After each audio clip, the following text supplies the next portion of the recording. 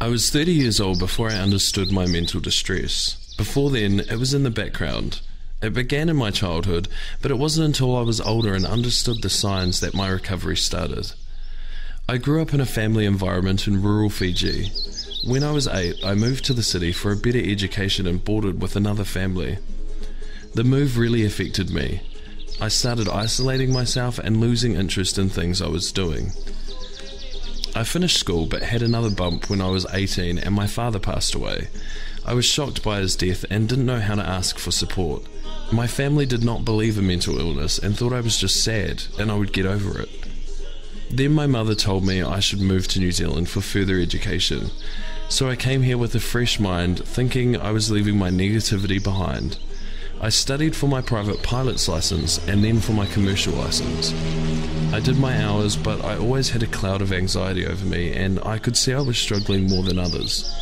I had to reschedule my flying hours according to how I was feeling, and this put stress on me.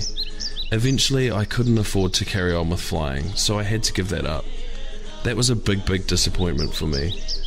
I was also in a relationship at the time which started off well but didn't finish very well, so that was another stress. I felt very alone. For the first time, I asked for help. I think New Zealand is quite ahead in terms of how mental illness is dealt with. People are more compassionate compared to Fiji and even Australia.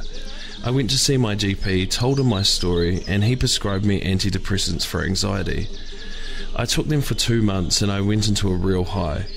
The antidepressants gave me an elevated mood. I had a big psychotic episode, which I believe was partly caused by the medication I was taking because the dosage wasn't correct. I was put into hospital, and that's when I realised something was wrong. It was really hard for me to accept that I'd finally had a breakdown. It was very confusing in the hospital.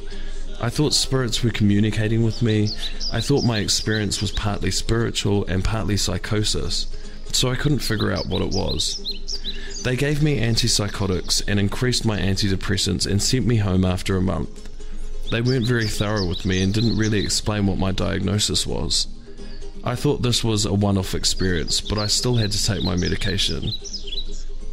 It made me put on weight and feel drowsy most of the time. This made me worse and drove me deeper into depression. I began counselling, which really helped. I was able to deal with things that happened in the past. This helped me make sense of why I was feeling the way that I was.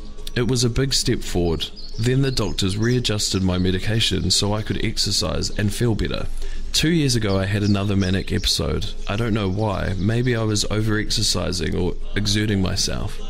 I couldn't sleep and I started hearing voices. Since then, I've changed my medication and I feel more stable and focused. Medication has really helped me despite the bad side effects.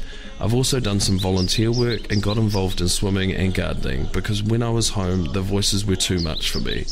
Now that I've started doing things, the voices have reduced. I feel I have a long journey ahead of me and I'm still learning. Deep inside, I still need to make sense of it myself. Talking to people like counsellors is one way I can understand it. Getting support helps too. For me, this has been from family, peer support, and spiritual connections. My belief in God plays a big part in this. I am Hindu, but I also believe in Jesus. In the past, this has caused a clash within me because I was always trying to determine who the true God is. Now I just see God as a higher power. My advice to others going through a similar experience is just to give it time. It could happen to anybody and it's part of who you are, but it's not the total picture. So the quicker you accept this, the better it is, and the easier it is to move forward. Give it time, and the difficult periods will pass. There's always something good to look forward to. Ultimately, I would love to fully recover from my mental illness, start a family, and move closer to my family in Australia. I believe this will happen. I have hope.